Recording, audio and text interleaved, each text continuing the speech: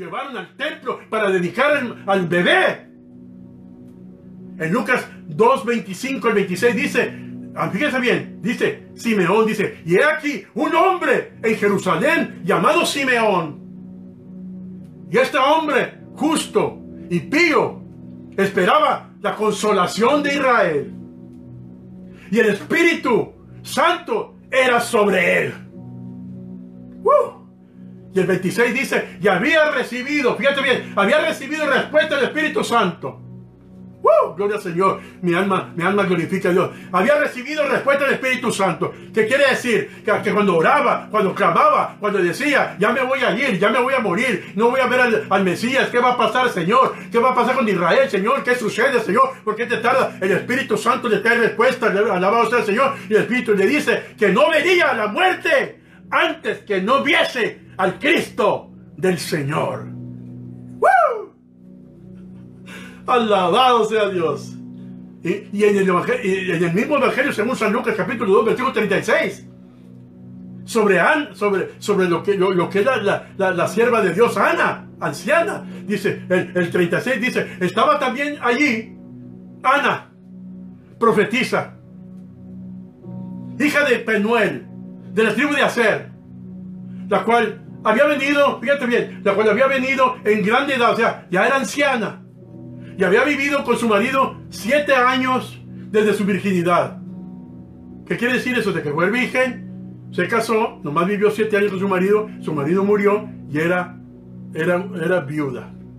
Pero una, una profetisa poderosa que Dios le dio la bendición de ver al Rey de Reyes y Señor de Señores cuando lo, lo ofrecieron, alabado sea el Señor, en el templo de Jehová. ¿Cuánto dicen amén todavía? Amén, profecía en el Nuevo Testamento. Ahora también hablando de profecía en el Nuevo Testamento, amén, yo era Señor. Al mismo Juan el Bautista, quien, era un profeta de Dios, hizo varias declaraciones a, la voz de Señor, él mismo proféticas acerca, acerca de su primo Jesús. Acerca de su primo Jesús. Y voy, voy rápido porque tengo mucho material y os quiero bendecir mucho. Dicen amén, gloria al Señor. Pero es la misma temática, gloria al Señor. Y, si analizamos el Evangelio según San Mateo, capítulo 3, pon atención, para que los que están escribiendo, San Mateo, capítulo 3, versículo 11 al 12, mucha atención, dice así. Yo a la verdad os bautizo, Juan, hablando Juan, yo a la verdad os bautizo, los bautizo en agua para arrepentimiento. Pero como que les dijo, pero escuchen bien, mas el que viene detrás de mí, más poderoso es que yo. Los zapatos del cual yo no soy digno de desatar, de llevar. No dice eso, la versión antigua dice diferente. Las sandalias no soy digno de desatarlas. Él, es, él los bautizará en Espíritu Santo y fuego. Lo cual hace falta a tantas iglesias secas que nomás están muriendo ya. Fuego de Dios es que necesitamos fuego del Espíritu Santo, es que necesitamos para que esta pandemia termine, para que el diablo sea derrotado, gloria al Señor para siempre, y para que caminemos con el cuello erguido, gloria al Señor, glorificando al Rey de Reyes y Señor de Señores, aleluya, viendo que Satanás no se salió con la suya. Y en el versículo dice, el versículo 12 dice, su aventador está en su mano, está. Y aventará su era y, allegará su trigo al alfolí. Fíjate lo que dice, y quemará la paja. Los malignos, los incrédulos, los blasfemos, los apóstatas, los que se ríen, los que se burlan, quemará la paja en fuego que no se apagará. Ay, ay, ay, hermano, alabado sea Dios, alábale, alábale porque Él es bueno, alábale, alábale porque Él es bueno. Esto deberían de poner a sus hijos que lo ven en la pantalla grande de su casa, gloria al Señor, no nomás a, a, Spider-Man. Alabado sea Dios para siempre. Amén. En segundo lugar, ¿qué podemos decir de Jesús nuestro Señor como profeta? Pues la palabra del Señor dice que Él es profeta de profetas. Entonces, como profeta, ¿qué podemos hablar de lo que dijo Él en el Nuevo Testamento? Porque mira, la mayoría, la mayor parte, fíjate bien, la mayor parte de las profecías del Nuevo Testamento concernientes, o sea, que, que, hablan de los eventos relacionados con, con, la primera venida del Señor. Alabado sea Señor. ¿Sabes de dónde, de dónde, ¿Sabes de dónde vino? De la boca del Señor Jesucristo. Miren hermanos, también esto. 1500 años antes, antes, Moisés había profetizado que el Mesías sería un profeta. Tremendo, ¿no?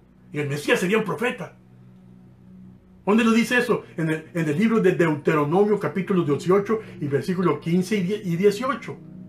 Deuteronomio 18, 15 dice, profeta del medio de ti, hablándole al pueblo de Dios, de tus hermanos, como yo, dijo, dijo Moisés, como yo, te levantará Jehová, tu Dios, a él oirás. Y Deuteronomio 18, 18, fíjese lo que dice. Mucha atención. El mismo capítulo. El mismo capítulo. Dice, profeta le suscitaré. O sea, profeta le levantaré. De en medio de sus hermanos. Como tú. Dijo el Señor a Moisés. Como tú. Así levantaré profetas del medio de tus hermanos. Y pondré mis palabras en su boca. Y él les hablará todo lo que yo le mandare. Tremendo hermano, gloria al Señor. Uy, siento la gloria de Dios, amén. Y también Juan, Juan el Bautista dijo palabras tremendas. En el Evangelio según San Juan, capítulo 1, versículo del 21 al 23, dijo, dijo, dijo Juan Bautista, pon atención, dijo Juan Bautista, y le preguntaron, cuando llegaron, los fariseos, estaba bautizando, estaba la multitud alrededor de él, la multitud siguiéndole, los discípulos con Juan el Bautista, tremendo ministerio, y llegaron, ya sabes tú quién, los, los burlones, llegaron, llegaron los, los falsos, los fariseos, los llegaron a ver, a observar, a verlo, y hacerle preguntas capciosas como siempre. ¿Cuánto dicen amén todavía? Y, y le preguntaron, ¿qué pues? ¿Eres tú Elías?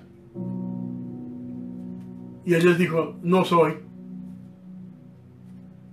Entonces, ¿eres tú el profeta? Y él respondió, no.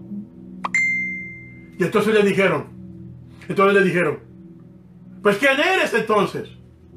Para que podamos nosotros dar respuesta a los que nos enviaron. Fíjate bien. Eso quiere decir que hay muchos espías en las congregaciones que nomás van a mover la lengua y a ver qué, qué, Cuidado, pastores. ¿Qué dices tú de ti mismo? Le dijeron. ¿Qué dices tú, de ti mismo? No eres el profeta, no eres el día de tú. ¿Qué dices tú de ti mismo? ¿Qué dices tú de ti mismo? ¿Y sabes qué dijo, qué dijo Juan el Bautista? Dijo, yo soy la voz de que clama en el desierto. Enderezad el camino del Señor. Como dijo Isaías, el profeta. Fíjate bien la seguridad de la seguridad de Juan no dijo, yo soy uno. Uno que Isaías profetizó. No, no, no, no, no, no, no, no. Dijo, yo soy. Yo soy, ¿qué? El que, el, que clama en el desierto. Yo soy. Él sabía quién era. Él sabía su trabajo. Él sabía su ministerio. Él sabía lo que él estaba haciendo. Él sabía, no andaba con, con tapujos, gloria al Señor. Y traía el mensaje que debería traer. Alabado sea Dios para siempre. Alabado sea Dios. Y sabe una cosa, más tarde, cuando Jesús comenzó su ministerio, hermanos, sus señales milagrosas causaron que, que la gente exclamara, este es, este es el Mesías. Este es el Rey de Reyes. Este es el que estábamos esperando. Este es. No hay nadie más. Este es. Nadie ha hecho lo que Él está haciendo. Han venido muchos mentirosos y los hemos, los hemos crucificado a las afueras de Jerusalén en, en, en, postas y en cruces y cuanto por mentirosos. Pero este, este es diferente. Este es. Alabados a Dios. Y en San Juan 6:14 dice así, este verdaderamente es el profeta que había de venir dijeron. Jesús claramente actuó como profeta. Estoy hablando sobre profecía con Jesús. ¿Qué, hizo Jesús? ¿Qué profetizó Jesús? Porque estamos hablando de, de nuevo, repito otra vez el título, estamos hablando de la profecía en el Nuevo Testamento. La semana pasada hablamos de la profecía en el Antiguo Testamento, ahora del Nuevo Testamento. Jesús habló profecías poderosas en cuanto a la segunda venida. También. Ya había venido la primera venida. Ahora empieza a hablar profecías de la segunda venida. También habló el Señor proféticamente acerca de los eventos que, iban a ocurrir en su primera venida. O que, o que, o que, amén, eh, o que verían ellos mismos con sus ojos. ¿Eh? Amén. Alabado sea Dios. Mire, mire, mire bien. La tercera división del estudio es esto. Amén. Pero ¿cuáles, cuáles fueron los temas que más que más atendió Jesús? ¿A cuáles fueron los temas a los que Jesús más, más, más quiso, quiso hablar de esos temas? ¿Cuáles fueron los temas, el Señor? ¿Cuáles fueron los temas? Jesús siempre habló con respecto a la primera venida, o sea, de él, de él mismo. El tema que Jesús le dio mucha atención fue a su muerte y a su resurrección. Repetidamente el Señor les dijo a sus discípulos que lo matarían y que, y que él resucitaría de los muertos y al tercer día, después de su muerte, resucitaría.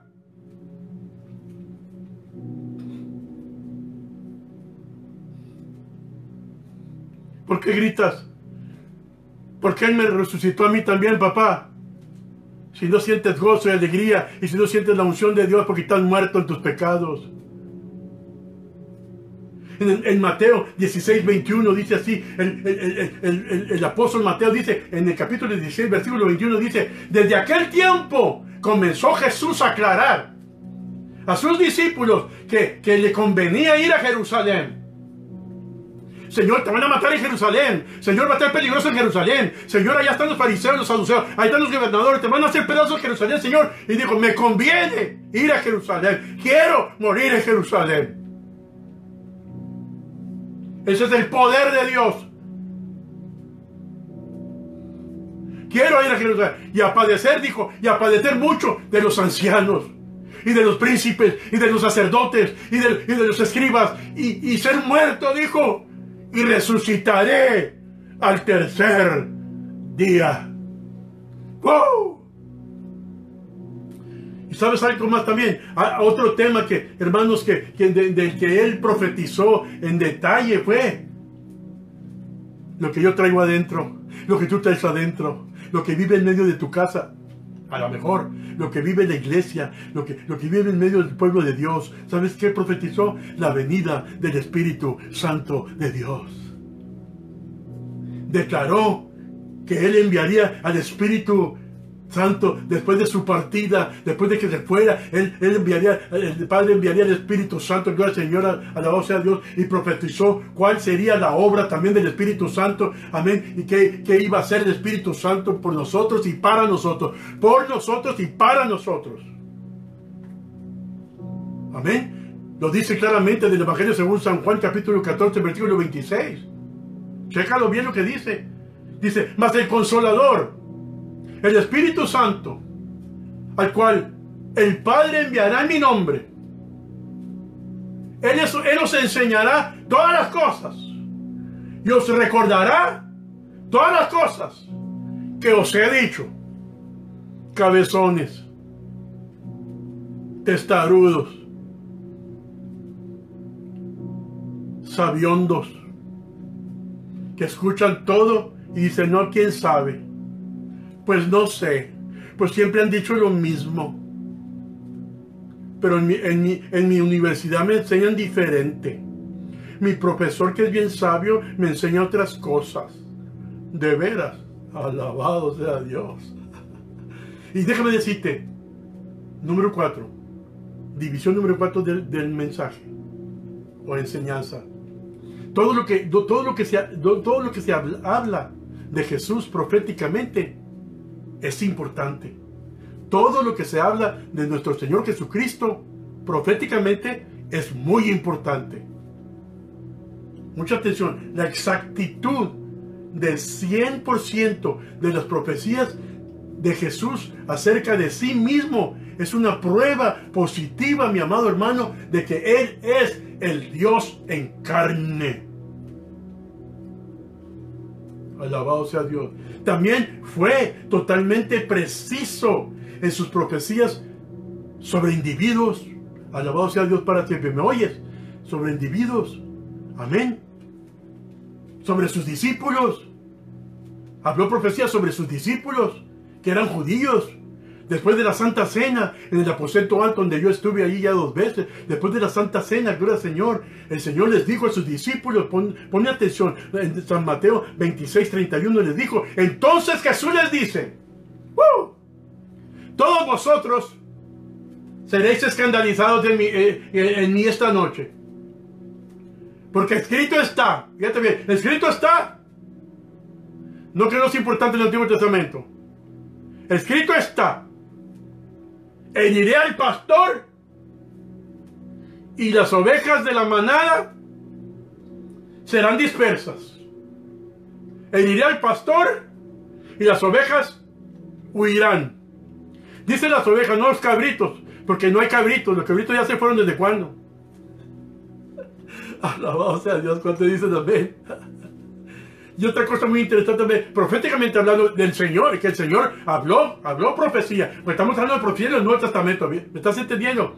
Otro detalle fue sobre la ciudad santa de Jerusalén. Esta que tengo aquí atrás, mira. La ciudad santa de Jerusalén.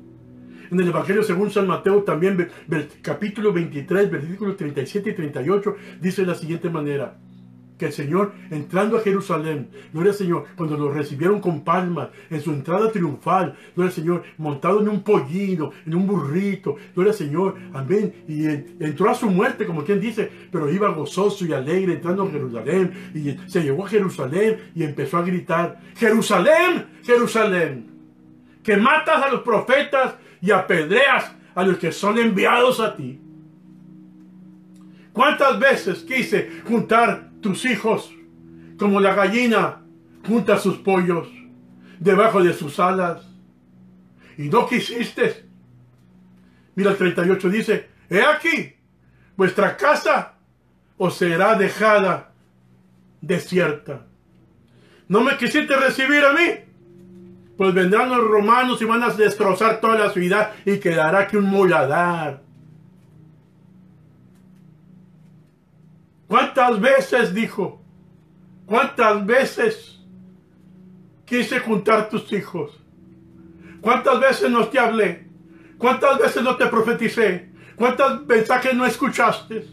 ¿Cuántas enseñanzas no escuchaste? ¿Cuántas veces no oíste a tu madre que te hablaba la palabra y no entendiste, cabezón? ¿Cuántas veces escuchaste a tu abuela que oraba y clamaba por ti de rodillas y no y te burlabas mejor y te ibas al baile y te ibas a la droga y a drogar y a fumar lo que tú quieras? ¿Cuántas veces quise juntarte como la gallina junto a sus polluelos? Pues ahora atente a lo que viene. También hablando de profecía, el Señor Jesucristo, habló también sobre el templo de Jehová. Amén. El templo de Jehová. Y dijo que después de que él partiera, no iba a haber nada. En San Lucas 21, del, 5 al 6, dice así, y a unos, y a unos que, decían del templo que estaba adornado de hermosas piedras y, y, dones y cuánto, el Señor, en el versículo 6 dice, estas cosas que veis, días vendrán que no quedará piedra sobre piedra que no sea destruida. Y eso sucedió después de su partida, cuando pasaron los años y llegaron los romanos, hicieron destrozos en toda la ciudad y quedó un muladar. Yo he estado allí, yo he visto las piedras, he caminado sobre las piedras. Hermanos, no hay duda de que Jesús era el, era el profeta. Pon atención, no era un profeta, era el profeta. El profeta. A quien Moisés le dijo, le dijo a su pueblo que esperara. ¿Quién? Quien también sería el Mesías de Dios. El maestro, hermanos, el maestro hizo comentarios frecuentes sobre su segunda venida, subrayó claramente la certeza de, su regreso y, el hecho de que regresaría con ira para ejecutar la venganza de Dios. Por eso hay un dibujo por ahí, una pintura ver que, que dice que un león y una oveja. Vino primero como una oveja y lo hicieron pedazos. Pero cuidado, por su segunda venida viene como león.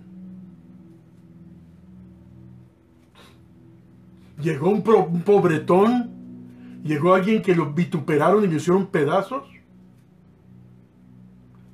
Llegó alguien que lo hicieron garras que lo conquistaron en cierta forma, pero regresará como conquistador. Regresará como rey de reyes y señor de señores.